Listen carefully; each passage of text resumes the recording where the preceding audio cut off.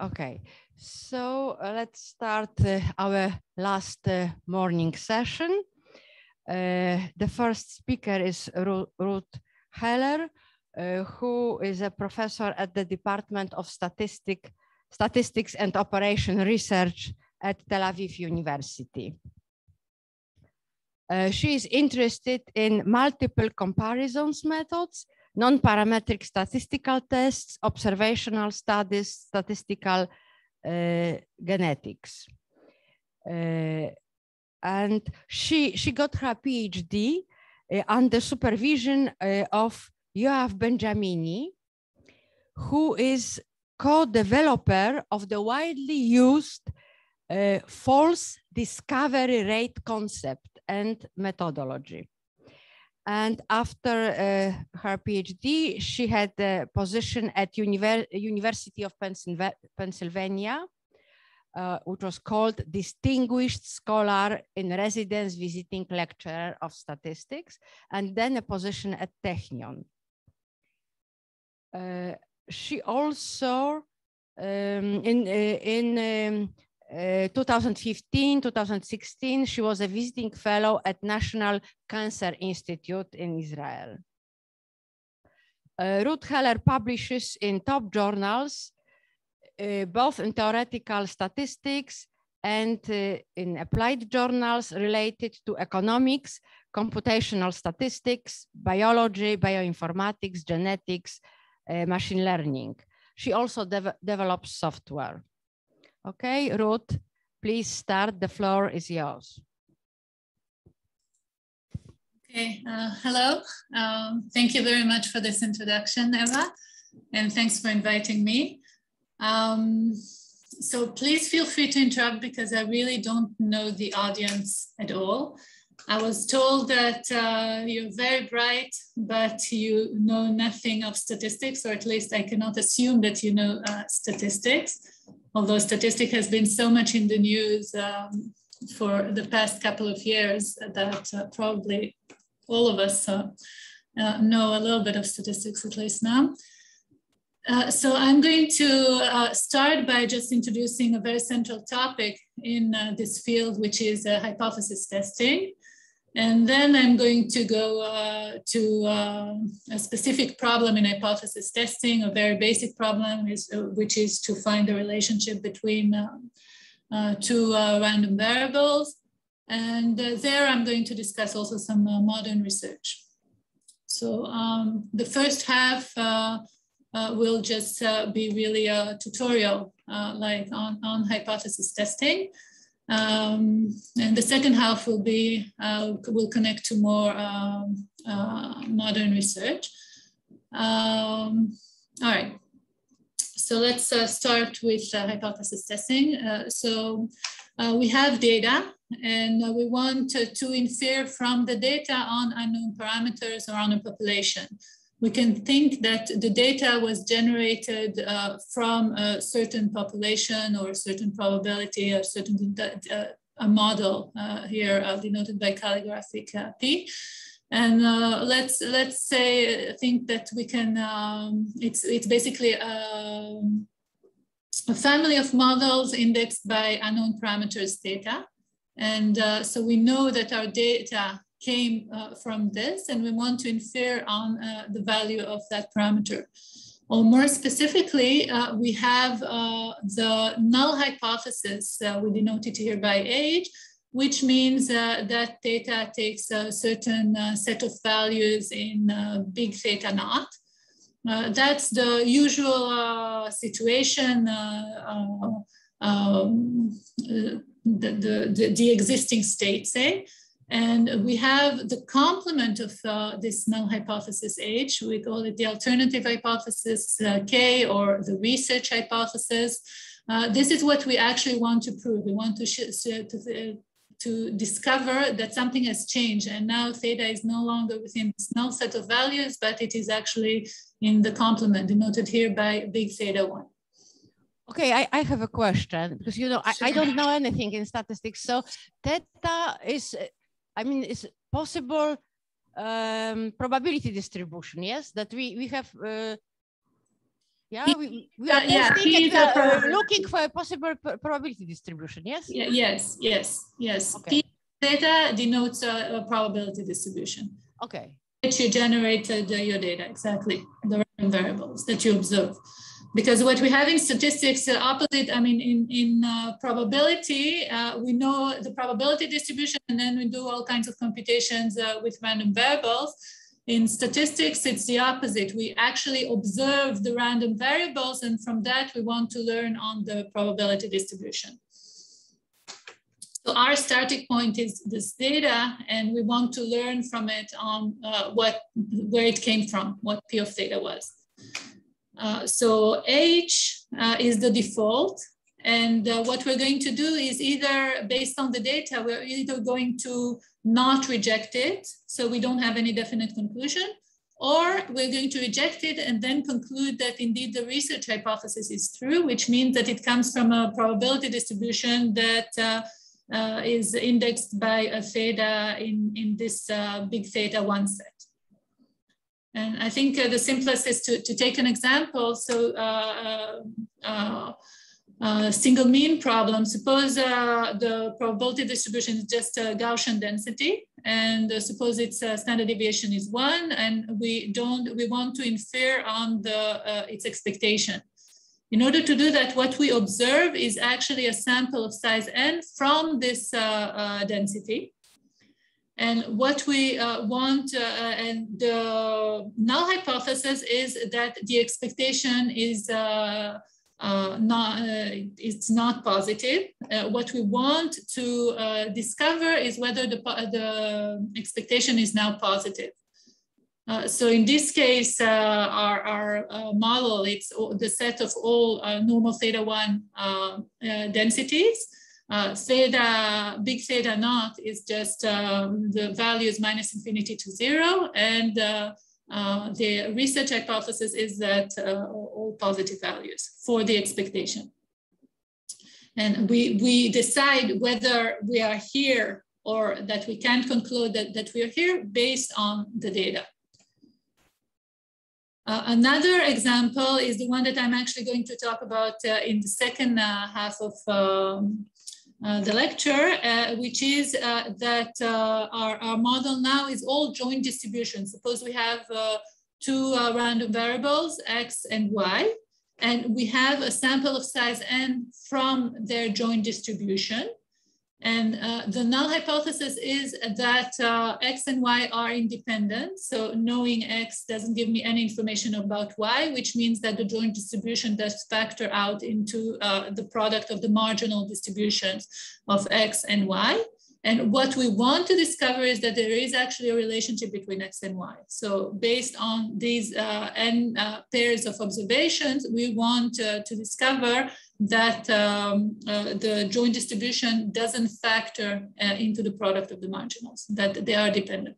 So this is actually the problem I'm going to talk about uh, afterwards. But for now, we're just building the language and the, and the, and the way it's uh, uh, done in, in, in, simple examples. Um, okay, so uh, uh to be more formal, uh, we have um, we have our data. Uh, so I'm noting it. I mean, here the data, for example, was pairs of observations. Here it was a single sample, just the cartoon way of denoting it. I'm just denoting it by X. Okay. Uh, so we have our data X, and based on that X, uh, we are making, uh, we said we're making a decision. Either we fail to reject the, uh, the null hypothesis H, or we reject it, and then we conclude that the research hypothesis is true. Uh, so let's denote this decision function D that takes our data, and then it gives a binary decision, either zero, which means we fail to reject the null, or one, which means that we reject the null. So uh, we have uh, the rejection region is just all the set of uh, realizations of the data, okay, uh, that uh, for them, we're going to decide to indeed reject the null and decide that our research hypothesis is true. what we have is, the power function, which is the probability of rejecting the null as a function of theta. Remember, theta is what we don't know, what we want to infer about. But uh, we have uh, this power function, which is just the probability of, of rejecting um, the null hypothesis. Uh, so this as a function of uh, theta. This characterizes uh, the way we're doing our, our tests. Okay, so let's think what is, uh, I mean, th th this is defined even before we see the data yeah, yet, uh, but uh, we need to choose, uh, our decision really something uh, the analyst chooses how, how, to do it. Uh, so what would be the ideal power function? Okay, what, what do we actually want from this power function?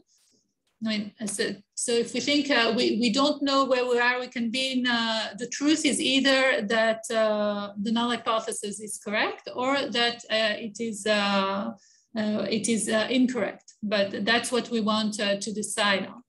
So what we would like is if, if indeed uh, theta is in our null set, so the null hypothesis is true, uh, then we would like uh, the probability of doing rejection to be very small, right? We don't, or actually zero, that would be the best thing. But if uh, theta is actually in the alternative, so the uh, um, H is false, then we want uh, to have a very high probability of indeed rejection, the rejecting. We take our uh, sample and uh, we look at it, we want to make this, uh, this decision. Sorry, uh, may I have a question? Yes, of course. Uh, so R is the the set of all random variables or, or the, the subset of the measurable space on which we operate? I'm a little bit confused. R, R is, uh, yeah, R is the set of realizations uh, for which uh, we are going to um, uh, to to, de to decide to to reject uh, the the null hypothesis. So, for example, uh, let, us take this this example here. so we can decide. So so we have a sample, a, a, random sample of size n. Let, us suppose it's um, heights in the population. Heights are normally distributed. Now we okay. take a, a, sample of say 100 people and we measure their height. So this is our uh, realization. Uh, we, we, are measuring their height. So we have actually 100 numbers. Now no longer random variables, there are, there are 100 numbers. And based on these uh, 100 numbers, uh, we want to, uh, our, our um, research hypothesis is say that now uh, the, the average height is actually, uh, in, in, the population is actually greater than I don't know, than 175 centimeters. Uh, so we want to decide whether uh, we can reject the null that it's uh, at most 175 centimeters based on our sample of uh, observations. Now suppose uh, um, um, what we, so, so here, what we put is all the realizations for which we are going to indeed decide uh, to reject uh, to reject the null hypothesis. So in the height example, it can be, okay, uh, we are going to take, uh, say, we're going to look only at the average of the 100 people for simplicity. If the average is greater than 177 centimeters, then we're going to reject, and otherwise not. So the rejection region is just uh, uh, 177, greater than 177, basically that will be all these values here. Okay, okay, I see. Thank you. Yeah. Okay. Um, uh, so, uh, okay. So, so, so, but, but we can, I mean, it's a, a little bit of overload of uh, notations here. It's just because typically, I mean, if you look at the literature, you talk about rejection regions, but we can just uh, stick with the decision rule. It's just uh, all the values of x for which we're going to decide uh, uh, the, the, decision will be, uh, the binary decision will be one. Okay. Now, uh, so, so the question is, the real question is how to do the, um, the difficulty is the art and the science is how, how to choose this decision function based on what values of x I'm going to say that the null is false and uh, decide to reject the null and based uh, and, and, on the complement not reject. Uh, so uh, the, the, the context is that what we have, we can do correct inference and incorrect inference, okay? And uh, um, what we have, uh, so our null hypothesis is either true or false, of course. And we have a decision, either we don't reject or we reject. So when do we do correct inference? Well, if the null hypothesis is true and we decide not to reject, we did the correct uh, inference. Uh, or if the null hypothesis is false and we reject, we decide to reject, that's great also. We did correct inference. However, if uh, the null hypothesis is false and we don't reject, we uh, have a type two error. And if the null hypothesis is true and we do uh, reject, okay, we shouldn't reject, but we do reject, then we have a type one error. This is called the, the false positive. Okay, what we want is actually uh, to have a small probability of uh, the errors, right? A small probability of a false positive, a type one error, and small probability of a type two error. That's what ideally uh, we would like. Now, the power function, remember, it's just defined as uh, the probability to actually uh, decide on reject, okay? Uh, so um, what we want is the probability, th this probability to be close to zero uh, when we're here and close to one uh, when we're here, okay? But uh, what is the problem?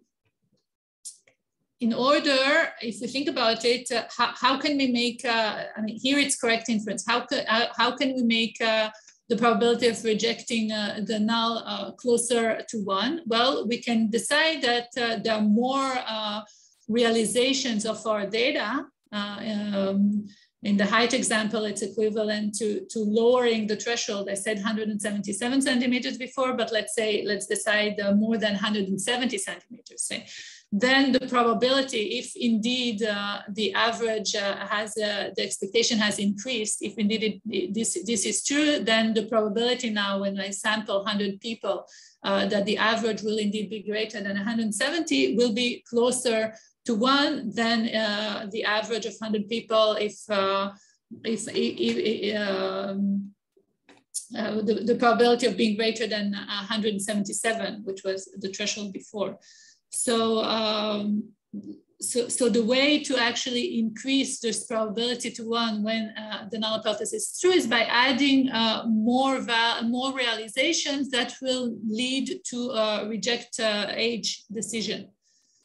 The problem is that if I add more realization uh, for which I will decide to reject H, I'm not only increasing the probability of uh, correct inference when uh, the null hypothesis is indeed false, but I'm also increasing the probability of type one error when the null hypothesis is true, right? So I, I can't have it both ways. Um, so I, uh, if I reject more results, uh, my power function will indeed be larger, but it will be larger both uh, for uh, if I am in, in the null and if I want, am in the alternative. Um, so by adding the results, we increase both the power, which means uh, what I want to actually do. If I am in the alternative, I want the, the power to be as close to one as possible. But I'm also increasing uh, the probability of type one error. If the truth is this, I'm also increasing uh, the probability of making uh, that error. Um, so we can't uh, really uh, uh, maximize the power and uh, you know close close to one and minimize uh, the type one error at the same time. That that's a, that's a problem.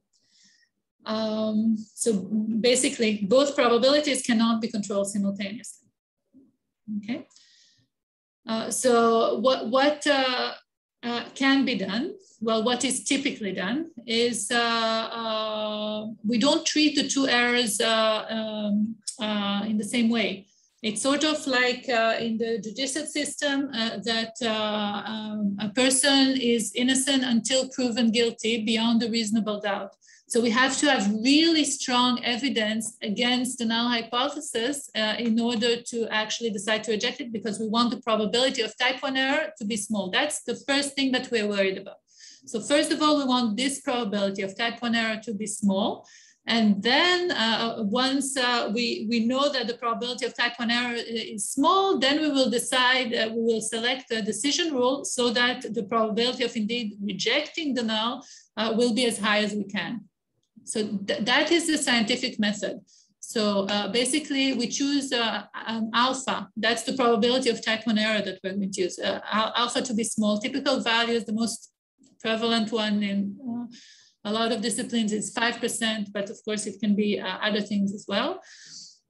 And then we constrain our decision rule to, so that it has to satisfy that the maximal probability of type one error, the maximum probability of a false positive is at most alpha. Now, if, uh, so we have a decision rule that satisfies this. And suppose now we have data and uh, we see uh, that uh, uh, it, the, the, uh, our decision rule is such that we say reject, reject the null. What does it mean? It means either that indeed we're rejecting because the null hypothesis is false, right? We actually sampled from the alternative. or um, it is true, but we got a non-representative sample. We got something that has a probability of at most alpha of happening. Now, since we restricted alpha to be small, we're saying, okay, the probability of getting a non-representative sa sample is actually at most alpha. Uh, that's the doubt that we're allowing, okay? And then despite that, we decided to reject. So beyond a reasonable doubt to, to uh, make it equivalent to the judicial system, we decide indeed to reject, uh, to, re reject the null and, uh, and say that our research hypothesis uh, is true. Um, are there any questions? I'm not sure. Um, it's maybe a lot to take. Uh, okay. It's a very good explanation. Okay, uh, thank you. Um, okay, so what we have in terms of the la uh, language again uh, that we're using, we have the significance level of our test is the maximum probability of type 1 error. And we say that our test, our decision policy is a level alpha test if the significance level is indeed at most alpha. Okay, so we constrain uh, to the to, to uh, among all level tests. Now we still have a degree of freedom of how to choose uh, our uh, decision policy. So what like, of course, if the null hypothesis is true, we want uh, to have the highest probability to detect it. So we would prefer a decision policy with large power among all level alpha tests.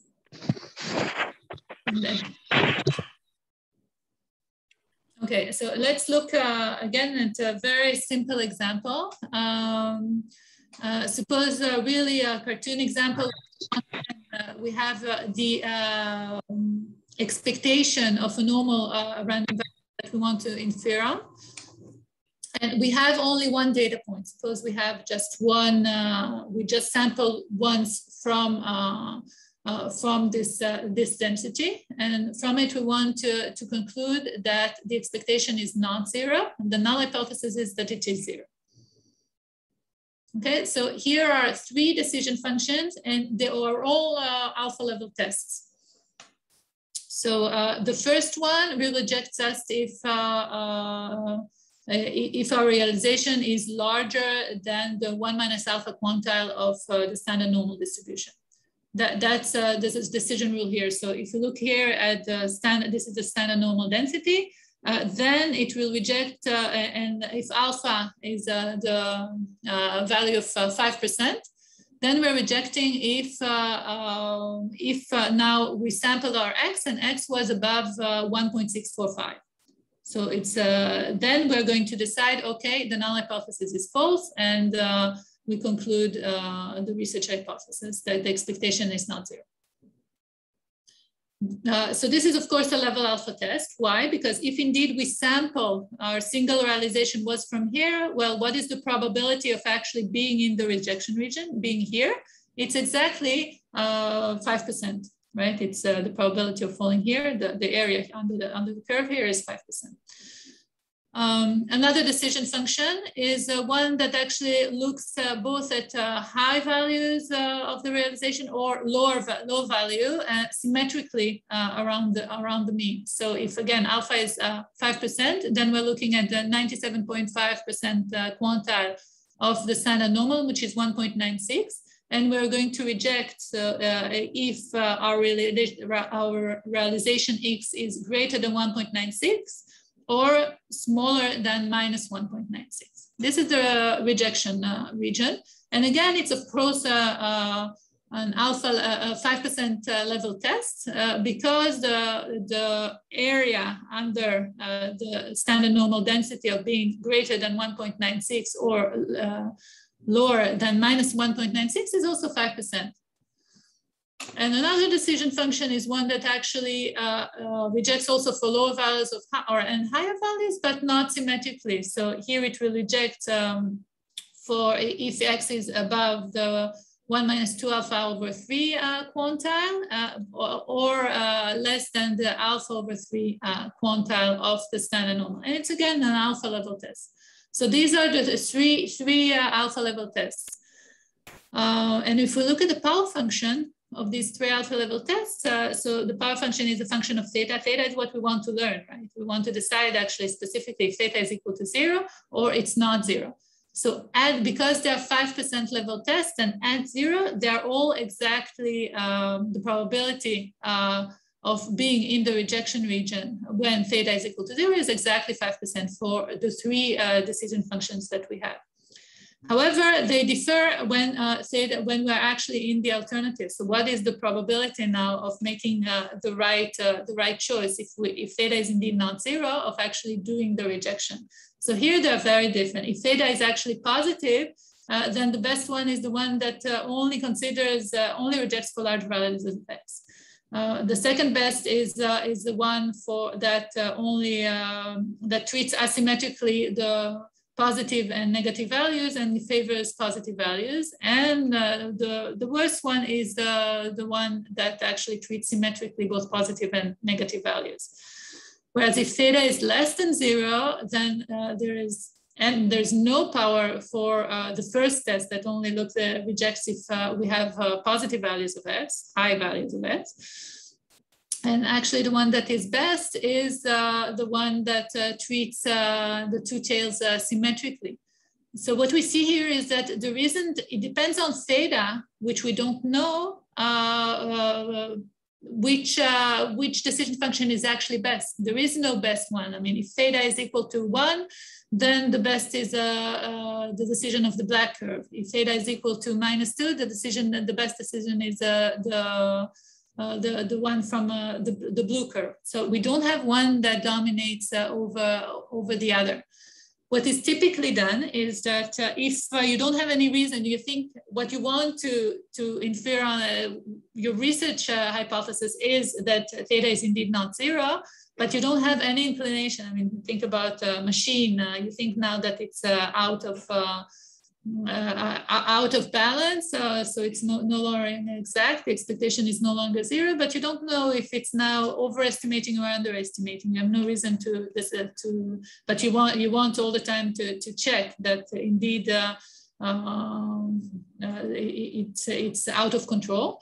Then uh, then you would choose the, the this one, the one that treats symmetrically both positive and negative values. Whereas uh, if uh, you believe that actually uh, the machine is out of control, but uh, now the expectation is uh, positive, but you're not sure, you want to still be able to detect also if it's very clear that it's negative, then uh, you may actually choose um, the blue one here. Whereas if you know that if it's out of control, it can only be positive, then of course you will um, uh, you, you will choose uh, this one. So, so it's, uh, this is where, uh, again, there's no one, uh, uh, contrary to, um, to maybe pure math, that there, there's, there, there isn't necessarily one good answer. There can be many, quite a few good answers.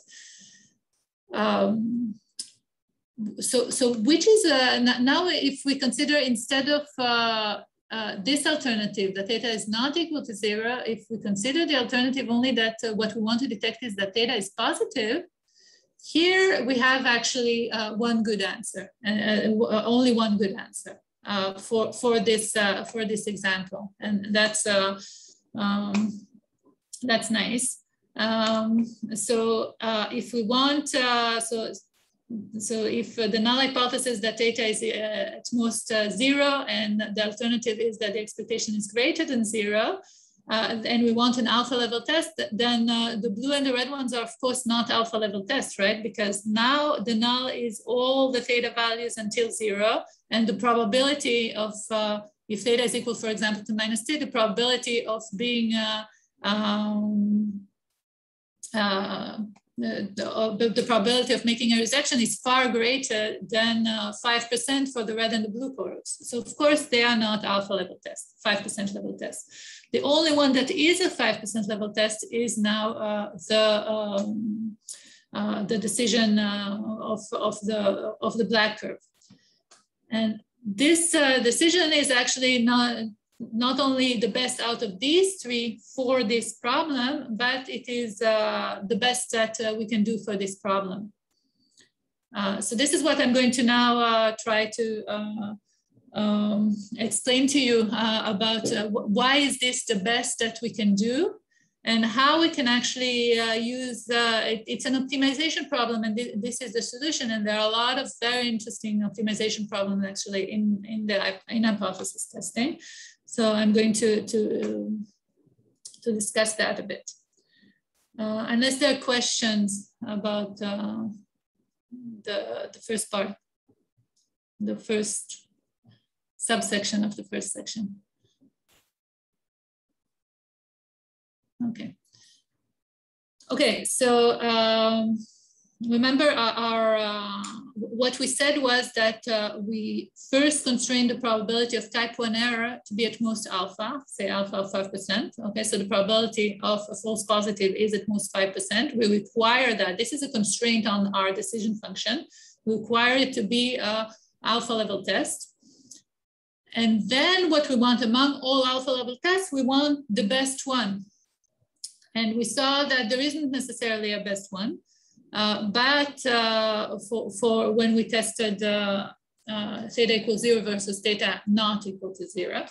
But there is always a best one uh, if uh, our hypotheses are simple hypotheses, which means that uh, our big theta naught is only a single value and our big theta one is also only a single value. so if we, we think about the normal means problem, it's really that the expectation under the null is a specific uh, number, uh, a specific uh, value, say zero, and the expectation on the alternative is another specific value, say uh, one. Then uh, we have a best test, and the best test has uh, the following form. basically, it looks at the likelihood ratio. It looks here, what we have in the numerator is the density of our data if the alternative is true. So if theta is equal to theta one, that's in the numerator.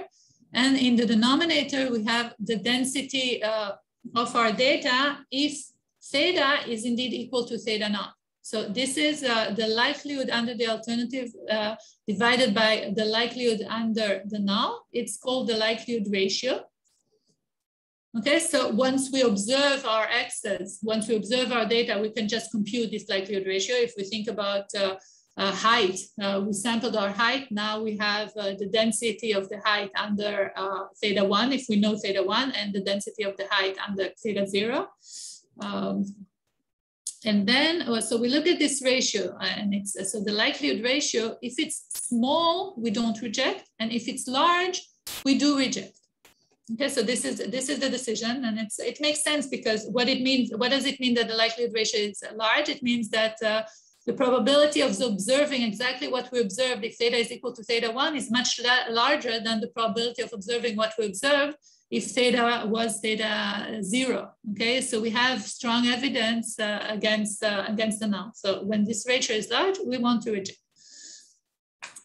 Uh, now, the only thing that's not uh, defined here yet is uh, C. How should C be chosen?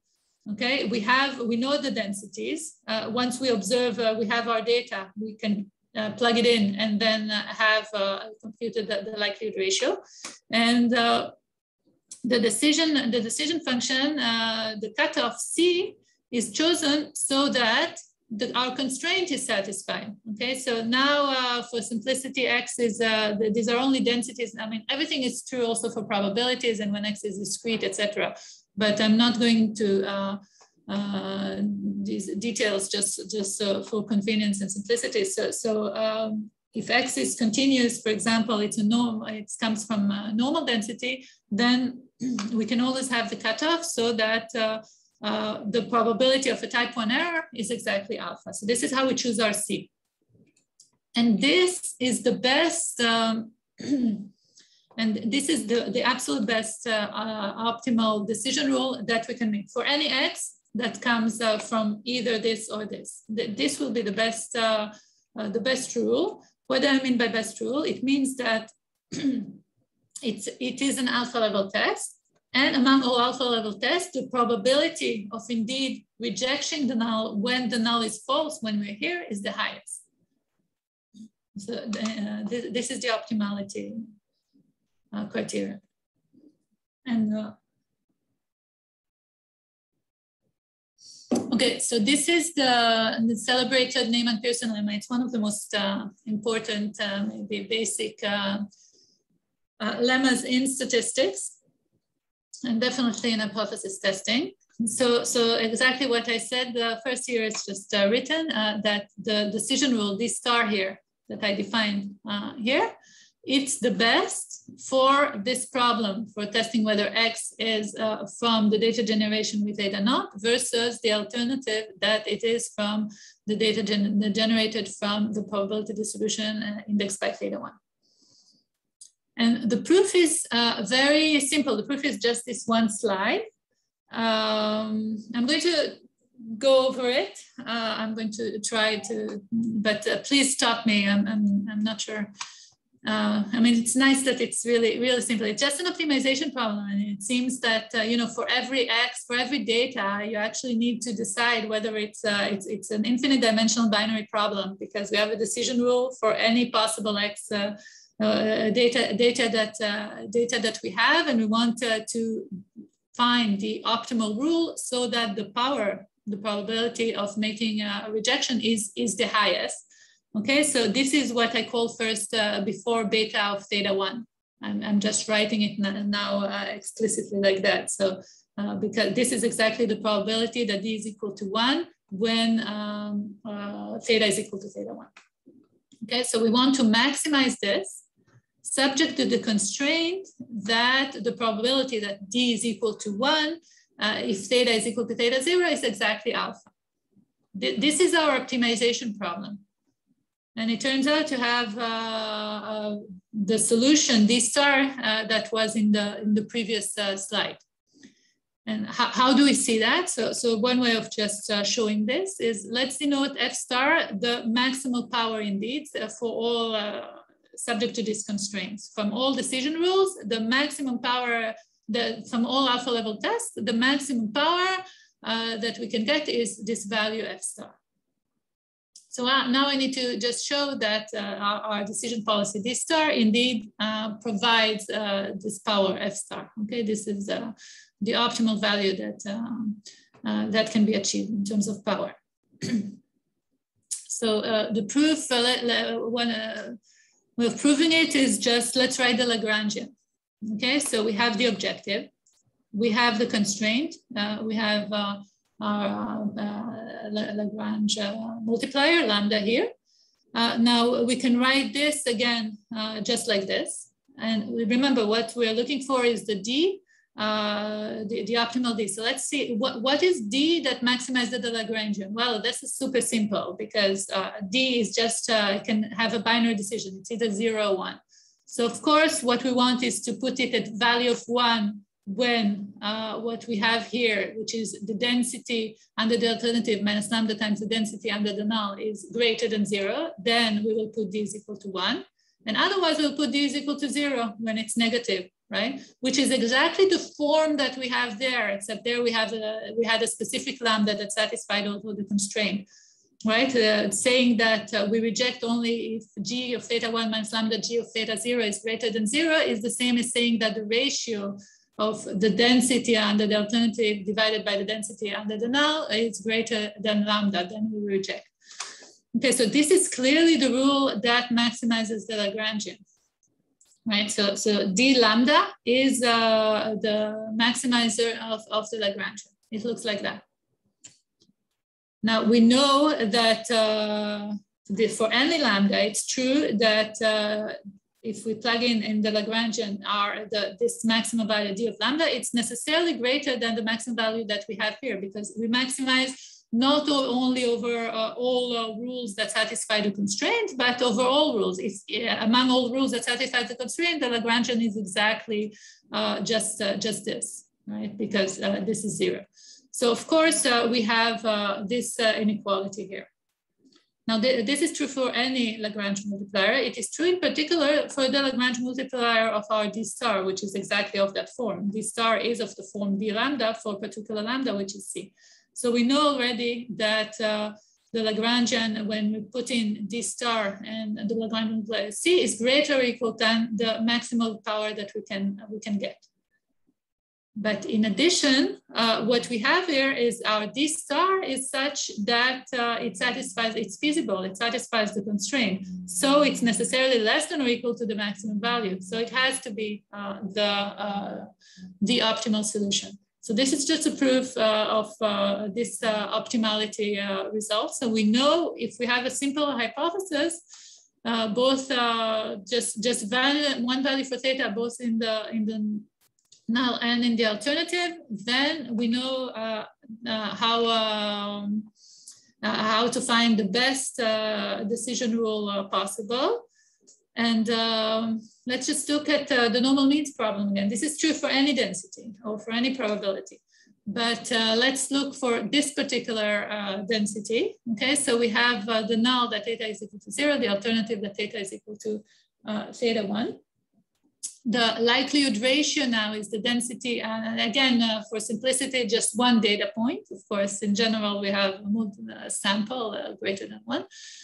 Uh, the density under the alternative divided by the density under the null, uh, just uh, from plugging into the um, uh, normal density. This is what it comes. This is the likelihood ratio.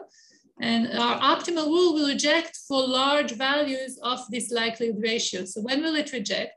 The Neyman-Pearson lemma tells us, okay, if theta one is greater than zero, it will reject for large values of x because if theta one is positive, then this whole expression will be large if x is uh, positive. How positive? Well, we want it to be an alpha level test. So the probability of uh, the rejection has to be equal to alpha if the null hypothesis is true. So, so uh, it will be uh, the, uh, we will reject if x is greater than on one and a half quantile of the standard normal distribution. Now, if theta one is less than zero, then the Neyman-Pearson lemma tells us that uh, actually we reject the small values because if theta one is negative, then in order to make all this entire thing uh, uh, large, we need x also to be negative. And how negative? Well, the cutoff so that we have an alpha level test. So this is very interesting because what we see here is actually that our rejection rule doesn't depend on the actual value of theta. It only depends on the sign of, uh, of the value. And this is already becoming practical now because typically we don't know, uh, we want to uh, uh, identify that theta is greater than zero, but we don't know exactly what value it will take. Uh, but we know that for any theta greater than zero, this is the best rule possible. So we say that this is the uniformly for all theta under, under the alternative most powerful test. So for example, if if here we have this uh, uh, this alternative that the expectation is positive, uh, then the best rule for any theta one uh, under the alternative is this one. So it's a uniformly most powerful. And of course, uh, for the negative, uh, it, it's this one. Now, if uh, the, the, the, first problem that I showed you that was that the alternative is just that theta is not equal to zero, for this, the uniform and most powerful test doesn't exist uh, because, um, because we know that it's, uh, uh, this is the optimal rule if theta one is greater than zero, and this is the optimal rule if theta one is less than zero. So we can't have two values under the alternative for which uh, it's the same optimal rule. So there's no way out of, of that one. Um, but these uniformly most powerful tests, they are practical in uh, some important application. Uh, for example, in clinical trials, uh, um, which uh, uh, we hear about uh, a lot in the last couple of years with all the vaccines that are coming and, and, helping the world. so, for example, in, we want to carry out a clinical trial and we need to decide what sample size to use. So typically, uh, so we have uh, patients that are randomized into two treatment arms, uh, the control arm and the, and the, the treatment, uh, uh, the, the, treatment that we want to infer on, uh, its efficacy. And uh, we, the sample size is calculated to achieve maximal power at a pre-specified treatment effect, subject to the constraint that there is no treatment effect, say. And we know the direction of the treatment. I mean, if uh, we have a vaccine, we know that it has to uh, reduce uh, the number of, uh, um, reduce the risk of, of actually uh, getting COVID. Um, okay, so, uh, so, so, so, so here, this type of the Neyman Pearson uh, lemma and uh, its optimal solution, they come in uh, very handy. Um, so um, I'm already past the time for the break. I'm just going to uh, say uh, very briefly, just nowadays, actually, we have more than one hypothesis that is tested. So actually we have we can have very interesting optimization problems, not just with one decision rule that we want uh, to optimize uh, for, for just one hypothesis, but the vector of decision rules, because say we have two hypotheses and we want to make uh, the decisions in a certain sense uh, uh, best uh, for both, both hypotheses. So this is very interesting to my to my view very interesting uh, um, field of research uh, how to design actually optimal procedure uh, when we have uh, more than one uh, hypothesis simultaneously tested. Uh, if we take the covid example then it can be for example that we want um, um to learn about two doses say two regimes of the treatment or, or two subgroups of people and uh, uh, for, for which uh, there is a treatment effect because it could be that there is a treatment effect for a drug on elderly people, but not on, on young people, for example. And how to design uh, optimal uh, testing procedures is uh, something we actually dealt with in our group. Um, so we do have um, a, a blog that, that talks about that, about how generalizing Neyman Pearson lemma for multiple uh, hypothesis testing problem when we don't have just one, but more than one.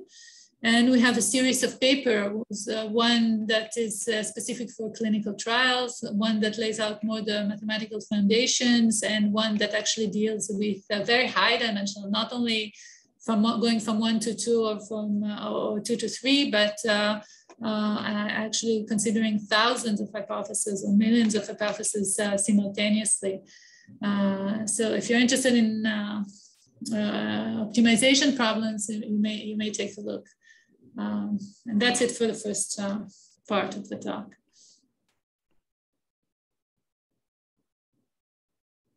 So I guess we can take a break. Any, any questions? Questions or comments or maybe questions from people online? I have one question. Please. Uh, so is it possible to reformulate this uh, uh, lemma, uh, Neyman-Pearson lemma in uh, more geometric terms, somehow translated uh, to the problem um, of scalar products in Hilbert spaces? I, am more Hilbert space minded, so when I see an integral of a product, I try to visualize visualize this as a as a yes, scalar product in some Hilbert space. Yeah, I mean, this is uh, it's it's more general. It's it doesn't have to be. Uh, I mean, uh, this uh, measure here, I, I, wrote it like this. So yes, of course, it's uh, uh, you know th this entire thing can be also you know DG DG1, DG0, uh, more generally for, for different measures, if that's what you mean. Uh, no, no, I, I uh, just uh, simply meant that uh, my, my question is whether uh, viewing this problem as a problem in a Hilbert space, does it actually helps or, or not? I don't know. I'm not sure. I, uh, since since the problem can be translated as uh, the maximalization of uh, scalar product uh, with with some constraint, yes. which is also given in in terms of scalar product equal to something. But I'm not sure whether it is right way to think about it. Okay, you see, we have theoretical people here. Yes, yes, I'm, I'm, I'm not sure. I mean, here the decision is a binary. So in terms of scalp, I mean, uh, yeah, I'm, I'm, I'm, I'm not sure how to answer this. I'm sorry. Okay, okay, it's fine. Okay, let's, let's, uh, uh, don't worry about that. So, well, uh, we shall make uh, a break until five past 10 and I must say that the level is uh, great. I mean, uh, I really appreciate your efforts to explain so in a, such an elementary way. Thank you very much. I mean, it's a, it's a very good level. Okay, okay. so we, we will re, uh, reconvene at five past 10. Okay. okay, go ahead with your second part, please. Okay. Okay, so I'm going to now talk about uh, a specific hypothesis of independence. The null is the hypothesis of independence, and the alternative is that uh, we don't have independence. Uh, so we will start uh, with uh, two univariate random variables, x and y. Uh, they have densities fx and fy. The cumulative densities are denoted like this. And uh, under the null hypothesis, they're independent. So um, uh, basically, the joint distribution of x and y factors out to the product of the marginals for, uh, and, and, and this is true in, in the entire uh, uh, the entire space. Uh, what we have is um, n independent copies from that joint distribution, and it's denoted by little xi, little yi. Uh, and uh, on this, uh, we base the decision whether to reject this null or not. So uh, here, uh, so the question is how to do that, how, how, to how to decide whether the null hypothesis is false, and indeed we have dependence. Uh, there is no most powerful test. It's um, this hypothesis is not simple. It's not like one theta naught um, that we have.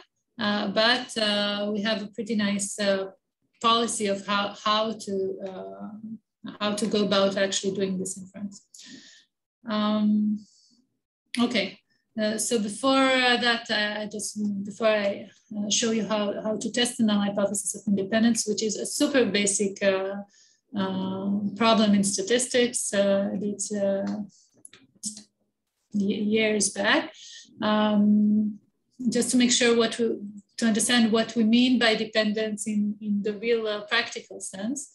Uh, so here, uh, th these are, this is uh, in the wikipedia.org page on Pearson correlation. So uh, Pearson correlation quantifies uh, linear relationships and it's pretty easy also to discover monotone relationships. But what we're interested in is actually discovering any type of relationship.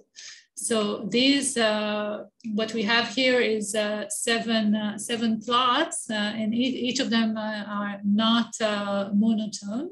And in fact, any tool for inferring on monotone relationship will, will fail in, in, these plots here. but in most of them, there is actually dependence. So for example, here, okay, so we have the X uh, these are, um, it's not a very high quality uh, plot, but, but uh, we have points here from the joint distribution. Uh, if we plot uh, these points, they have a W shape. Okay, so clearly knowing X gives me information on Y. X and Y are dependent, even though the dependent is highly non-monotone. If X is very low, or very high, then uh, Y also tends to be uh, tends to be high. But uh, afterwards, there is a region where it tends to be low, and then if X is in the middle, then uh, Y is high again. So definitely, if we know the value of X, we have information on uh, the value of Y. Uh, and, and, this is true except for one panel here, which panel the, that is actually, the, the, null hypothesis is true. And so here the null hypothesis is clearly false. In which panel is it uh, uh, the, true that X and Y are, are independent? Uh, does anyone want to? The last one. The, this one here, right? Uh, the, the, the right one, exactly. Um, and that's uh, because here we have, uh, so we have a strange marginal distribution, which is like two clusters, uh, uh probability half uh, uh, X can be in this cloud, probability half it can be in this cloud. This is the realization here and the same for Y, but knowing X doesn't give me any information about Y because given X, the distribution of Y is exactly the same for any X. So here, this is a realization of actually a true null hypothesis uh, that uh, the data is indeed independent, uh, but all the other uh, are, are, realizations of uh, um, uh, dependent variables. There is a relationship between X and Y. And our problem is we want to rule out the independence and actually be able to discover any type of relationship. Okay, it's not functional relationship, it's not monotone relationship, it's really any type of relationship. That's what we want to discover. Um, and the question is how to do that. And there is a very, uh, so this is an approach. Uh, the approach is a permutation test that is uh, completely uh, non-parametric. It makes no assumptions whatsoever, no model assumptions, for example, that uh, the X comes from a uh, normal distribution and Y comes from a normal distribution. We make no such assumptions. Um, it's the, the, the, approach of permutation tests is valid always. Um, and uh, so I'm going to first discuss, discuss it and then uh, the, the key element that we still need in order to actually be able to uh, discover relationships. So uh, we have our pairs of data. Remember, we have uh, uh, n pairs xi, yi. Now uh, let's uh, take the uh, denote by the vector x here, the order statistics just of the x's, and uh, the vector y, the order statistics just of the y's. So without looking at who is paired to who. Uh, then uh, let's denote by calligraphic Sn the permutations of the elements. So the cardinality of Sn is just n factorial for any permutation for any uh, of the n elements, let's denote by uh, sigma of y, uh, the permutation of the order statistics uh, for that. Uh, so uh, if sigma is just the identity, then we will get exactly this vector of order statistics. But if it flips two and one, then we interchange these two observations, etc. So now uh, uh, the key uh, thing that enables us to do uh, non-parametric without any assumptions uh, uh, to inference on whether X and Y are actually dependent is, is this fact that if the null hypothesis is true, if, if indeed knowing X gives me no information on Y, then actually the pairing is completely random right? It doesn't matter who is paired to whom, it's just one realization, but uh, effectively it's just that I took a sample of size uh, uh, n from the x's, from the marginal distribution of x, so and another one from y, and it's just uh, the order was completely random. So the probability of, of observing any pairing of x's and y's conditional, let's condition on uh, the fact that we observe these specific nx's and these specific ny's, then this probability is one over n factorial. Okay, so, so once we have that, actually for any test statistics, so a test statistics is a summary of our data. And for our purposes, we can think of what we want is really uh, to have a certain summary uh, that um, that actually, uh, for example, it looks, uh, it, will tend to receive large values if actually uh, there is dependence between uh, X and Y. Uh, so, um, uh, so, so, so I don't know, you can, you can, think of the Pearson correlation, say, between X and Y and as one and one success statistic, but it's no good because it's just for um, good for when, when the data is monotone and um, and actually linear. but uh, but but more generally, any any test statistic uh, that that you choose, that once you observe uh, your data, uh, you can have a value, uh, then uh, actually um, you know how it is distributed. This test statistics under under the null, conditional on the observed order statistics, because you know that if, if you instead of take the original um, pairing, you take any uh, random pairing and you recompute uh, the test statistic, then each one of uh, the realization has actually a chance uh, 1 over n factorial. So the idea is, well, what we want is an alpha level test. So let's just take the quantile, the 1 minus alpha quantile uh, of, uh, of this null distribution. And uh, let's reject if what we observe is actually greater, more extreme than this quantile, and not uh, and not reject otherwise. So this is an uh, alpha level uh, test. So this is actually a recipe for uh, doing alpha level tests uh, without any assumptions whatsoever. And uh, of course, in general, we don't need really need, I mean, n factorial, say if uh, n is equal to 100 n factorial, it's not, it's not possible to go over all of them. We can just do a Monte Carlo sample uh, in order to estimate this uh, one minus alpha quantile. And then uh, our, uh, all that's left is just to, um, to compute uh, the, the actual observed test statistic. And then uh, if it's greater than the one minus alpha quantile, we decide on reject, otherwise not. And because it's a minus one, one minus alpha quantile, we know that it's an alpha level test. So we satisfy the constraint that we talked about before of the fact that the probability of type one error is at most alpha. Now, the big question is how to actually, what, what is a good statistic? And the good statistic is the one that has a lot of power, that if indeed X and Y are dependent, then the probability of actually uh, making the decision to reject, which means uh, receiving a, realized value greater than the one minus alpha uh, quantile, uh, will uh, this probability is large. So, so this is a recipe for any type of test statistic, and all that is left, and all that I'm going to do from now on is actually to actually uh, show you some candidate, good candidates for the test statistic team. Once we have it, we know how to, how to proceed. We have the null distribution, which is just recomputing the test statistic for uh, any uh, uh, random pairing. And uh, the, then we get the null distribution. We have our uh, one minus alpha quantile. And so therefore we have the rejection region and the decision uh, to make. so, so this is all that is left. It's just we use permutation tests. all that is left is to define um, a test statistic uh, that is large when uh, when the data is actually when x and y are actually dependent and uh, and, and, and, therefore has good power. Okay. Uh, so uh, here is uh, one example of a relationship. This is real data.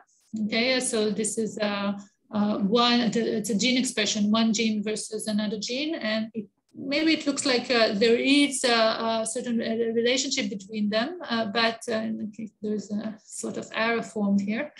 Uh, but it's um, it's a complex relationship. It's definitely not monotone. It's not functional. This is what we want to, to be able to discover this type of relationship uh, with with a test.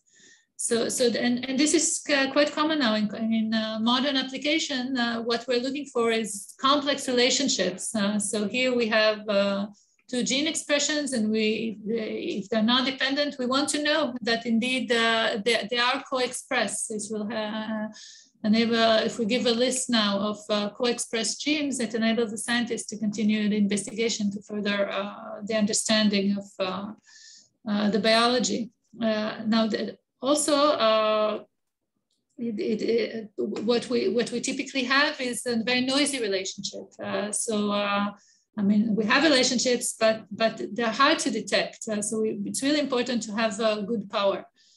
And uh, the last thing is that uh, we don't usually test just uh, one relationship, just two genes, but we have a lot of genes that we're testing together. So for example, here uh, we have 300 pairs um, of uh, data points, but each data point is actually uh, the expression of uh, uh 94 genes. And now we want to have uh, all the, uh, find all the co-expressions. So we have 94 choose two plots like this. And out of them, we want to discover the ones that uh, where, where uh, the genes are co-expressed. So we have a large amount of uh, potential findings. Um, okay, so what do we require from uh, our test? Uh, so what we want, uh, the, this T that we need to, to choose. Uh, so we would like uh, would like to have uh, omnibus consistency, which means that if indeed we have gathered enough data, then we are going to be able to discover the relationship if there is one. So with enough data, our test statistic will be uh, really large. Uh, with uh, probability one, it will be above the one minus alpha uh, quantile of the null distribution. And this is important because uh, we don't just seek a monotone relationship or functional relationship, uh, but we really don't know how the genes are co-expressed, but we want to identify the ones that are co-expressed. Uh, so this is called omnibus consistency, uh, the test that guarantees that with enough uh, data, we will have power increasing to one to discover uh, uh, Uh, uh, that the null hypothesis is false. Of course, uh, for finite sample size, because we don't, this is an asymptotic property when the sample size goes to infinity, what we want for finite sample size is that it works well. Um, and the last thing uh, that uh, we uh, we want it's computational efficiency that can we can get from this property called distribution freeness. Uh, so basically, if we think about uh, our our, uh, our example of 94 choose two genes co-expressions that we're examining, uh, then uh, what we're suggesting to do with a permutation test is actually, okay, to compute uh, the test statistic and then to compute also the null distribution for every single uh, pair, uh, which is a, a, lot of computations to do. Even if we do Monte Carlo sample, not all, not the 300 factorial, but only a subset of that, of course, in order to find the quantile, but the quantile will be different for every pair that we compute unless uh, we uh, start with a distribution free test. Then the null distribution can be computed only once. And the way to do that is super simple. It's just uh, let's, instead of uh, working uh, with a test that works on, on uh, the data, the original data, let's work on the rank data. So basically rank the n observations from x from one to n, rank the n observations from y from one to n, and then still, I mean, uh, we, we have information on the dependence, of course, uh, uh um, based on uh, uh, for, for, for the ranks as well. And we can still discover it. And it turns out also to be remarkably efficient that we don't, the fact that we moved from the original data to rank data doesn't actually um, cause a lot of loss of power. Um, it can even be uh, better power uh, in, in, various instances. So uh, this distribution freeness actually guarantees that we can tabulate uh, the null distribution before viewing the data. I mean, of course, if we move to ranks, then now we know in advance already that we will definitely have order statistics. The ranked order statistics are just numbers one up to n for x and one up to n for y. So we can compute uh, the null distribution of our test statistic uh, for different pairings of the ranks of X and Y. And then, uh, and then we have just one uh, null distribution. So in the yeast samples, what it means is that uh, what we're left to do now that we look at the data, uh, we only need to compute the test statistic for each of the pairs, but we already have the one minus alpha quantile uh, because it, the, the, our statistic was based on ranks. So this is uh, in modern um, applications where uh, we examine a lot of uh, hypotheses simultaneously. It's a very useful uh, property. Okay, so here is uh, the, the uh, first uh, distribution-free uh, omnibus consistent uh, test due to Hoeffding in 1948. And what he, said was the following, okay, let's actually, so we have our X and Ys, we want to know if they're dependent. Let's take each observation point and partition the sample space into four quadrants based on that observation point. And now look at uh, the difference between uh, the observed uh, number in a cell versus uh, what we expect if uh, indeed uh, they are um, X and Y are independent. And if we look, say, at the difference squared between the observed versus the expected and independence, the law, so under the null, we expect it to be zero uh, for n uh, for n large enough, or anyway that the, the, the, test statistic will be small. But uh, if there is dependence, then uh, our test statistic will be large.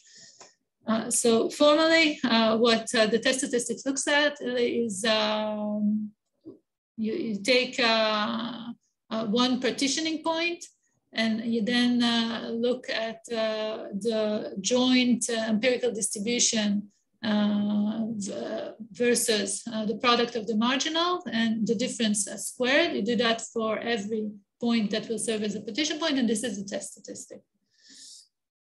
Now, uh, so perhaps it's not immediate that it is a distribution-free uh, test statistic because it looks like it uses the data, X and Y, and not the ranks. But uh, the key observation is that cell membership where, where you are is the same regardless if you're looking at uh, uh, if you start with uh, the original data or uh, with the rank data, it will be the same. So actually what we can do before is just uh, every observation we move to its rank. So instead of xi, we have ri, uh, which is the sum of the observations of x that are at most xi. And instead of uh, yi, we have si, which is the sum of observations uh, in y uh, that's our at most uh, yi. And now we have uh, these pairs, and these are the pairs that we're working for uh, with. And then we plug in here, this is the test statistic based on these pairs. Now, of course, these pairs, we know in advance that uh, the, the order statistics of the R's is one up to n, the order statistics of the S is one up to n, so we can have the null distribution of this entire thing, and uh, therefore it's also distribution free. Um, okay, uh, so this is uh, Hoeffding's uh, um, uh, suggestion, which is uh, um, which is old. Um, one more modern is the suggestion we had a few years ago, which was, well, not let's not just partition uh, into uh, the space to two by two. Let's just look at all partitions because it could be that uh, actually uh, there is another partition that conveys better the relationship between X and Y. So uh, we can, and, and, we have an efficient way of actually aggregating over all M by M partitions or uh, more generally M by L partitions. It doesn't have to be symmetric. And actually we let also the data choose which is the best partition. Uh, so I'm going to um, briefly describe how, how is that possible? I mean, it seems that, uh, you know, that, that, that, there are a lot of partitions, right? It's exponential and all m by m partitions for n greater than two, uh, it becomes a real computational issue. So it may seem impossible. Uh, so the idea, just to be clear, is that uh, we have, uh, we are going to partition um, the x-axis into uh, m, uh, m sections, the y-axis into m sections, and then we have an m by m partition uh, here. And we're going to look uh, over all m by m partitions and then actually over all the possible m's as well. And this is possible. Uh, and so, so why does it look first that it's not possible? Well, if you think of the number of partitions for a given m, then it's exponential uh, because you need to basically uh, select n minus one points here and n minus one points here, and then uh, the number of partitions uh, uh because of that uh, are, is n minus one choose n minus one. the number of possibilities here and same here, and it's huge. It's a huge number. So how can we actually compute our test statistic? I mean, our aim is still compute t. We're just saying that uh, we can have a better T if we don't necessarily um, look only at two by two partitions. Uh, but if we go naively, uh, then uh, the idea is like this. Uh, we have, uh, so we have the set of partitions, which is enormous. And let's de denote by calligraphic C, uh, I, the set of M by M cells defined by the partitions. So these are the cells for, for a partition. Um, now, OC is the observed number of uh, points in, in that cell, and EC is the expected number under the null. Um, uh, uh, uh, the, what we expect under the null to see in that cell, which is of course under the null, it's really easy to compute. It's just uh, uh, proportional to the width and the length of the cell. Uh, so we have the observed, we have the expected for each cell. Now, what would quantify a deviation from the null hypothesis of independence? It's if the observed and the expected are far away from each other because the expected is under the null. Uh, so far away uh, can be like this, or it can be like that, which is a Pearson suggestion, or it can be like that, which is the likelihood ratio connected to the mutual information su suggestion. It can be any, uh, it can be any number of uh, ways to quantify uh, deviations from independence. Then for a given partition, we just sum the evidence from each cell against uh, independence that the observed is actually far away from the expectation. And then we sum also over all the partitions. That's, even, that's just for one M by M uh, um, uh, for, for, one for one M. So so, but we, we consider all M by M partitions. So so this is the naive way of computing it. It's not possible to compute it, of course.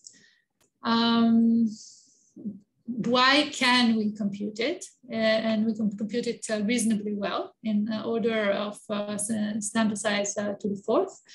And then, of course, uh, we have shortcuts also for this, uh, but I won't go into it. but why is it, and we can do that at once for all possible m's. And the key, there, there, are two, two key observations why this is possible. First of all, although we have an exponential number of partitions, we don't have an exponential number of cells. We actually know exactly how many uh, so a cell is the cells is defined by starting an endpoint in X and starting an endpoint in Y. Uh, so these are the number of cells that we own, uh, we have. Okay, so it's just order n to the fourth uh, number of cells, although we have a lot more partitions than cells, but all the data is conveyed in cells. So the idea is that instead of, uh, when summing, instead of iterating over partitions, right, which is what we do here, we first, uh, uh, we sum uh, the cells in every partition and then go over all the partitions. Well, uh, let's not do that, but uh, let's iterate um, over cells instead. And because, and for each cell, the score doesn't depend on, on M the, the score here. For each cell, we compute it like that. It's regardless of uh, what M we're using for the partition. So we can compute uh, the evidence against the null in each cell, and we have only order n to the fourth uh, cells. The other key. Well, excuse me, what, what does it mean, iterate over cells? Yeah, so it's the sum. So, so uh, the sum here, uh, we are uh, summing overall partitions and then uh, for each partition, we are summing the evidence of cells. Uh, but uh, instead we want, but we can't go over all the partitions uh, like that. What we want is to sum over uh, the cells. I'm going to, to, to detail soon uh, how, and just count the number of times each cell appears in, in partitions. Oh, can, okay. Okay. But we can interchange actually the summation. The summation. Okay. okay. Yeah, conceptually. That, that's what I mean. So, um, and and the, the, the, second observation is the fact, okay, so cells we have much less than, than, than partitions. And for fixed, uh, um, for a fixed m, the number of um, partitions in which it appears, it only depends on the height and the width of that cell and not on the data. So we can actually compute it uh, offline. It does depend also on whether it's an internal cell or an external cell, but uh, that's a small detail. So basically, instead of, this is our T, uh, our big T, our test statistic that we wanted to compute. We can't compute it because here it's a sum over an exponential number. Instead, what we're going to do is we're going to do this computation, which is just order n to the fourth. Uh, so what is this computation? Well, let's take first all the cells that are of the same width and length and compute uh, the, the, their sum. And then what we have here is just the number of uh, partitions of, uh, of size n by m uh, that for which a, cell of width w and length l uh, will uh, will appear uh, in in, in all when I go over all the n by m partitions. And this is a very simple um, a, simple computation that I can do uh, just offline. So this is already something uh, that I can actually uh, compute, and it's uh, uh, and, and, and, it's uh, straightforward. Um, so what I'm going to do now is what we often do in statistics, and since it's a crowd that is more theoretical math, then what we're doing is we have methodology and now uh, we want to actually see how it works on, uh, on real data. So we are comparing uh, different methods, different tests. Uh, so uh, what we have here is uh, really we have 94 just two co-expressions of genes. so we have 4,371 um, pairs of genes that we want to discover which ones of them are not dependent, they're not independent. And um, I've talked about uh, Hoeffding's test, uh, which does it by partitioning the space into two by two. And I've talked about uh, our approach, uh, which uh, says, well, let's not only partition to two by two, but let's partition to m by m. Okay, so, and we can consider, consider two by two, uh, and but, but also more than that. here, when we consider two, it's not exactly Hoeffding, so that's why it's not um, it's not the number of rejections that Hoeffding has because Hoeffding actually uses observed minus expected squared, and we used here, uh, I think, the likelihood ratio uh, statistic for each uh, within each cell. Uh, so let's see how, so, so Hoeffding uh, discovered 2,890 uh, co-expressed genes. if um, if we didn't, uh, uh, before Hoeffding, what, what we had was just uh, a tool to discover a monotone relationship. So Spearman is just Pearson, the correlation on rank data. And he discovered much less. So, so there are a lot of monotone relationships, or at least relationship with a strong enough uh, monotone component that we can discover it. Uh, but less than Hoeffding. So we would miss a lot of uh, co-expressed genes that don't have a monotone uh, relationship. So Hoeffding is better than Spearman. Uh, but uh, we can, uh, um, if we do n by n partitions, uh, we can gain uh, more because we can gain, we can go over more than 3000 as well. what we have here is actually a data adaptive way of choosing the optimal value of and the data, we let the data decide basically what is the optimal partition and then uh, it does a very nice job. So uh, we, we actually discovered the methodology that we have uh, ultimately in our paper, discovered 3,300 relationships. Um, okay, because we are examining simultaneously a lot of uh, uh, hypotheses, then uh, we need to compare to control for multiple comparisons. It's not enough to do each hypothesis at level uh, 5% uh, because then uh, we expect a lot of false positives. So uh, we have, this is a standard way of doing it, but I won't go into this since you just, uh, uh, that's more, that, that, that, that's too much material. Um, okay. so that's it for univariate tests. I'm going to very briefly go over what happens when we have multivariate uh, random variables rather than univariate random variables. Uh, unless there are any questions. Okay. So here we have the exact same setup uh, that we have X and Y under the null, the joint distribution factors into the product of the marginal, except that now uh, we have multivariate vectors. Uh, X is in RP, Y is in RQ.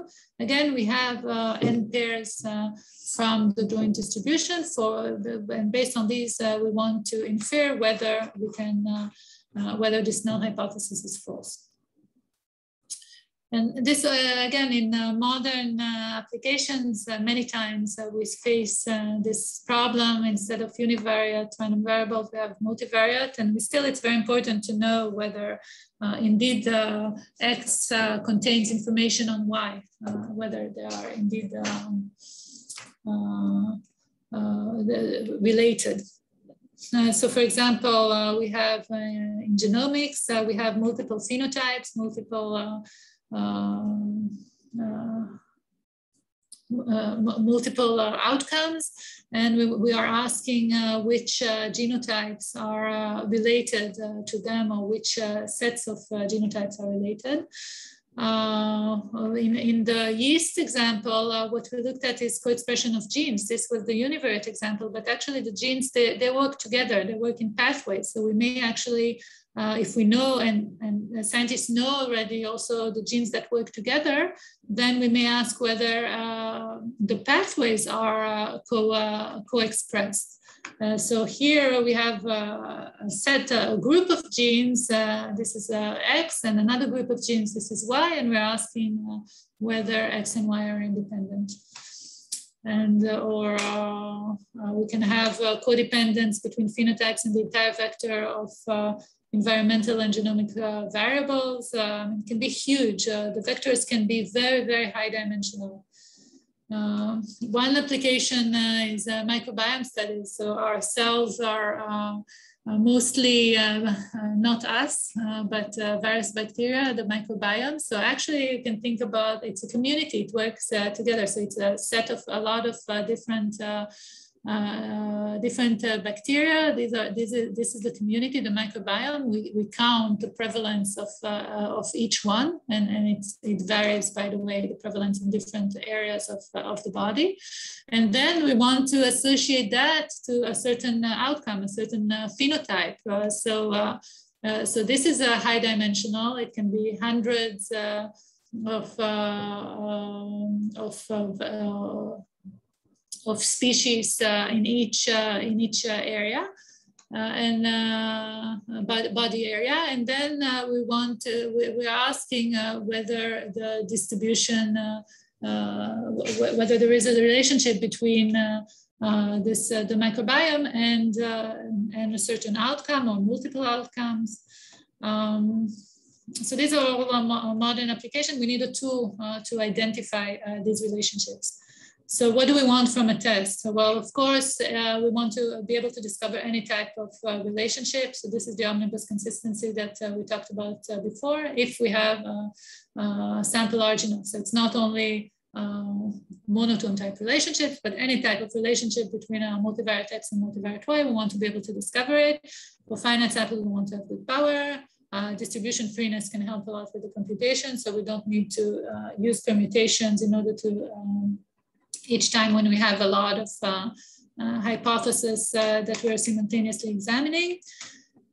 Uh, what uh, we want, this is something we didn't have for univariate tests. we wanted maybe to, apply, to be able to apply it also when the dimension of the random vector is greater than sample size. So for example, we have the entire genotype, so an entire chromosome for each person, and we want to associate it with with uh, certain phenotypes, say uh, height, cholesterol level, etc., uh, then uh, we, we can have a dimension that is greater than the sample size. We have a few hundred or few thousand people, uh, but the vector that we were trying to correlate is actually of higher dimension.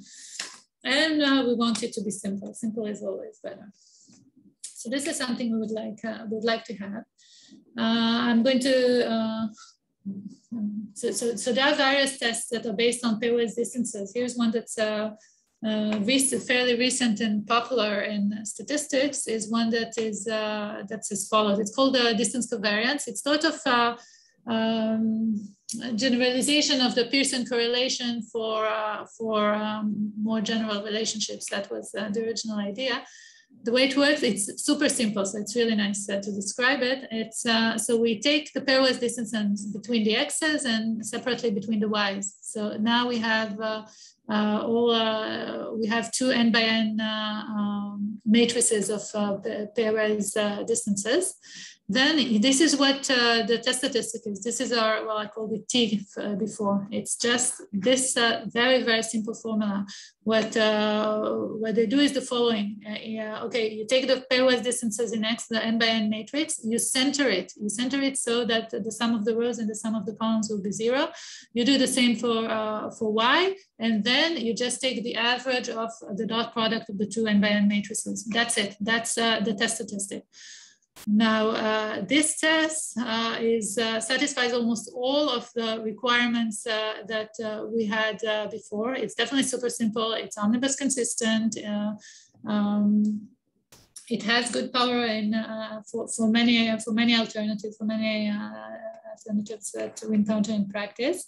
There is one uh, that there is one thing that it doesn't satisfy, and that is that it is not uh, distribution free, uh, because this test statistic actually, uh, even if x and y are independent, then uh, the it's not distribution depend on the on the marginal distribution of x and y. Um, okay. So, um, and, and, just to, to, give you, why does it work? This super simple one, why is it omnibus consistent? Why is it able to compute, to discover any type of relationship for, with n large enough is because, believe it or not, but this, uh, for a certain uh, distance, uh, it's actually uh, the difference between the joint characteristic function minus the product of the marginal characteristic functions. It's uh, so if you, you want details of this paper here, it's, uh, it's pretty cool. Anyway, it's not distribution free, which means that the computational complexity is, uh, well, if you want the entire, it's, it's uh, computing the test statistics takes n squared uh, times, and then uh, you need a null distribution. If you base it on B Monte Carlo permutations, it will be uh, this order of computations. If you base it on n factorial, it's usually not possible. n factorial times n squared, of course. So B will be much smaller than n factorial, but it's still large. If we had a distribution free test, uh, that would be nicer. And then there are um, advances, very recent. I mean, this is really from the last uh, year about, uh, until now, we didn't have a distribution free uh, multivariate test based on, we didn't have a notion of distribution free multivariate rank.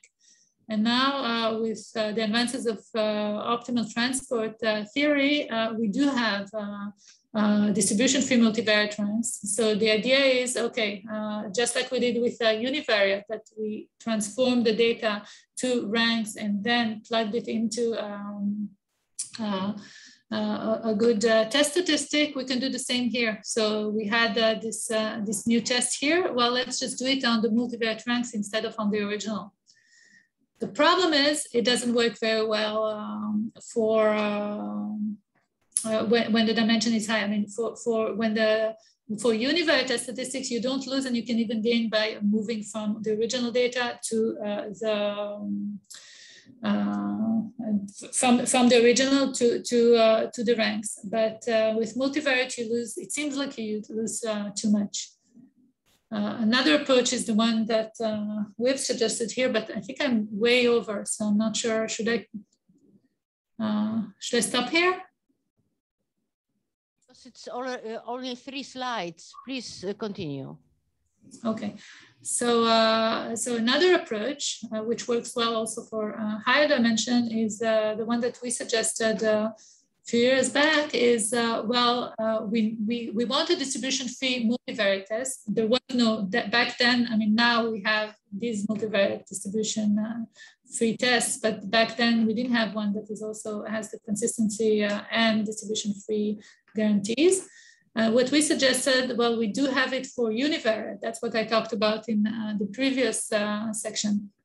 So let's just reduce the multivariate uh, by uh, to univariate as follows. Let's do, choose a reference point and take uh, the distance of the x's from the reference point, the distance of the y's from the reference points. Now I have pairs of distances from reference points rather than the original high dimensional x and y pairs.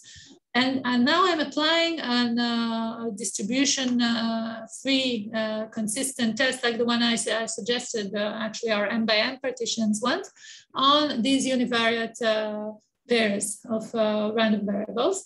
And this will, um, the, the, and this, this will, if we reject uh, by the univariate test, then we're rejecting basically also the multivariate test.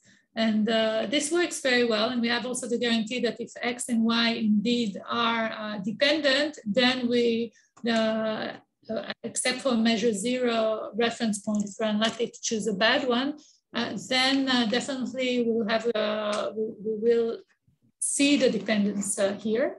Okay, this is what this theorem is about.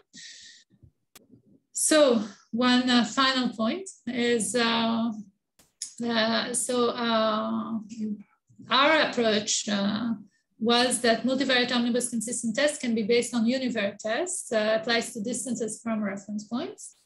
If the univariate test is consistent, so is the multivariate test. If the univariate test is distribution free, so is the multivariate test. so I'm basically suggesting a Hoeffding's test or our M by M extensions of it. The question is, what, why, not, why use only one reference point? Perhaps we're unlucky. How about using multiple reference points? So in the paper, we have one approach. Now with the advances of uh, multivariate ranks, we can think actually of uh, other approaches which may work better. I have a student uh, working on this. And I leave this, uh, but it's very interesting to actually uh, combine these two approaches and actually I think uh, that like uh, a lot of geometrical uh, perception uh, is needed to actually make advances in theory. So I think it's a very interesting uh, uh, research area. Um, and that's it. So here I'm done. Thank okay, thank you very much. Let's thank the speaker.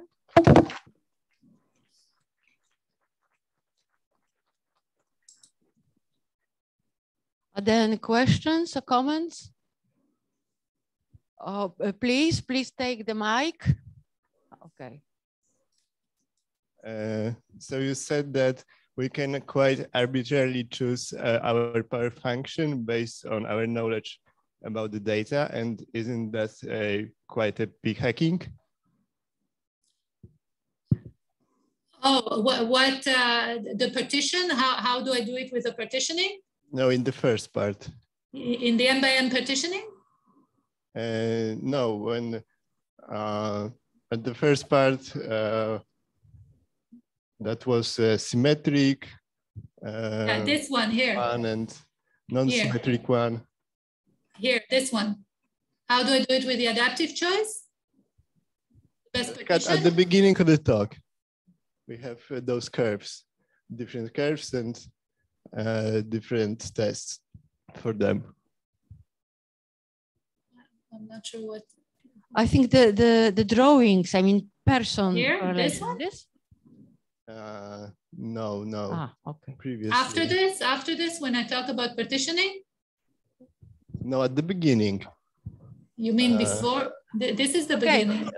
We don't need like to hurry. Just uh, let's discuss. So, so I'm sorry. What, what your? Can you repeat the question? Because I think I have a good answer if if if you if I understand the question. But can you repeat it so I make sure I understand it? Yeah, yeah. So uh, we could uh, choose our null hypothesis differently, uh, like uh, only considering uh, values that are bigger or uh, that absolute value is bigger I see.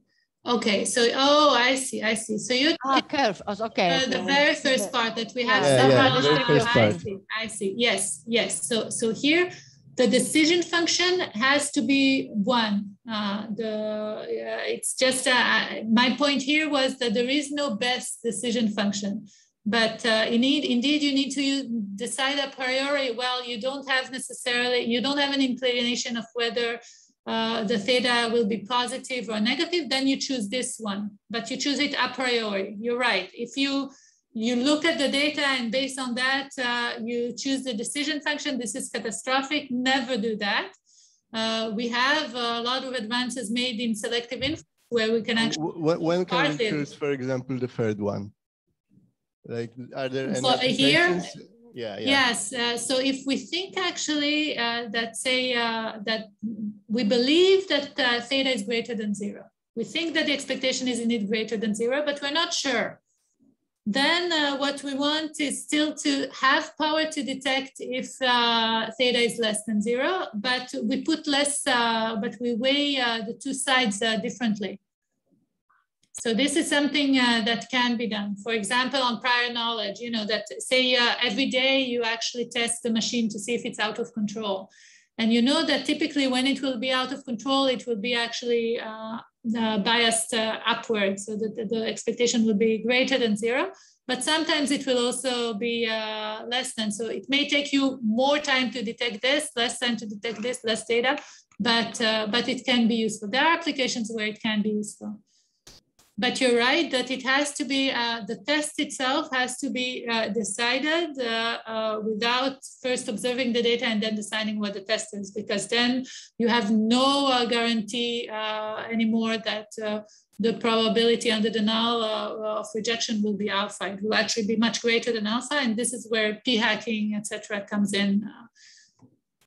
absolutely. Okay, thank you. Okay, any other questions? Please go ahead. Yeah. So I very much like the idea of uh, uh, not uh, of distribution freeness. So maybe it's a very broad uh, question, but can you use some of the idea that you described to do some learning? So in the case of the gene expression data, so uh, you were able to achieve uh, to discover way a higher number of uh, uh, relationships between pair. Mm -hmm. But to me, it seems that if I have a higher and higher number of relationships, my model is becoming way more complicated. Um, so, so you can definitely uh, choose, uh, uh, use uh, testing more generally, like multiple testing for, for prediction. I mean, there are a lot of works uh, that actually, because this is how uh, you do, you, you have a lot of variables that you want to decide which one to enter into the model in order to predict Y better. And how to select these variables, you can do this by hypothesis testing. So this is something uh, that, uh, that that is de de definitely done. And then of course you can use uh, distribution free. Actually, there are a lot of works. Uh, I mean, on using the distance covariance, for example, to just uh, uh, do it marginally or in groups, and then so so so we are in the multivariate one here. so so so have you, you, ha you have your predictor y, and then you actually have a lot of x's. Uh, you don't have just one. Uh, and then um, and then you use hypothesis testing and any, uh, I mean, the considerations for hypothesis testing can be uh, you want omnibus consistency, you want distribution freeness, uh, etc. And uh, you relate each of the lots of x's that you can have with y, and then you put in your model only those that pass a certain threshold. Uh, and, uh, and then it's a much smaller uh, set. but the test itself can still, the test that decides whether to, to indeed that they are associated or not can, can of course have the properties of, of the good tests that I, I labeled there that, that we may want, the, all of these. Okay, thank you. Okay, there is, uh, well,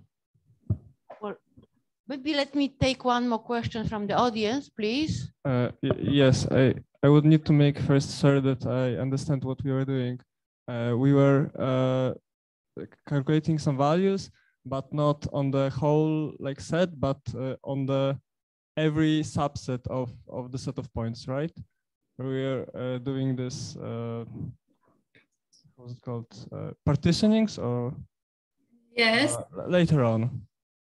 Uh, yes, here. So uh, first, is it right that we have some statistics and and we're calculating it on uh, on a lot of partitionings of of the set, right? To to get some more information. Yes, yes. So so we take say here three by three partition. So we can have the observed versus the expected in each of the nine cells that we have here, but then we do it on all three by three partitions that we have. So, so we have uh, a lot of three by three partitions uh, and every time uh, we, we compute for each cell the observed versus the expected and sum over the nine uh, cells. and then sum over all the partitions. Uh, okay, so uh, is there some intuition? Why does it give us some new information uh, compared to just calculating uh, one value, taking one big partition yes. containing everything? Oh, but you can, you mean uh, uh, an n by n partition? Yes. Exactly. But then you don't have any, you, you don't, you can't have, I mean, uh, it's too it's too fine. So you're actually so you need to have a balance uh, between. Otherwise, uh, it's it's sort of like with uh, overfitting, right? Because then uh, you will ha just have uh, one one observation per cell. So it's no information about the observed versus the expected under the null. So actually, the the super fine partitions are useless. What we actually show in the paper is the fact that I mean, if I go over all the three by three partitions, or more generally over all m by m partitions, then the, these are the bad partitions, the one that have cells that are that are tiny, that are just here. So necessarily, it's just uh, one observation, because, because then the cells can either be one or zero. So it's not enough of, uh, information of observed versus expected. But if we go over all uh, the n-by partitions, then the fraction of bad, these bad partitions that, uh, that are too fine is actually small. And that's why actually the test statistic that we have uh, is also a, a good uh, estimate of the mutual information, which, which actually characterizes uh, the strength uh, of the relationship between X and Y. Okay, let me just look at the questions on chat. Okay, there's one. How do we find how the two variables are related to each other after finding out that there is a relationship? Maybe you can answer very quickly.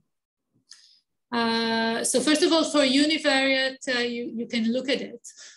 You can plot it. So, so that's, uh, that's nice. I mean, you can just plot uh, X versus Y, and then okay, th th this this came out. Okay, I, I wouldn't look at uh, 5,000 plots, uh, but now that this one came out because it's dependent, uh, then I can look at it and then uh, try to make sense of it. And then it's really further investigations. I mean, it's supposed to aid the, the biologist to, to continue further uh, into understanding what, what, what it is. For multivariate, it's trickier because really looking at uh, X and Y multivariate, uh, now you need uh, some, some kind of visualization reduction method like multi-dimension scaling or uh, principal components, etc., just to, to, be able to see, okay, uh, these came up, these pair came up, and now uh, uh, how do we see that they're really related and then further the understanding uh, later. But but it's it's it's the it's the next step really. Once uh, you, you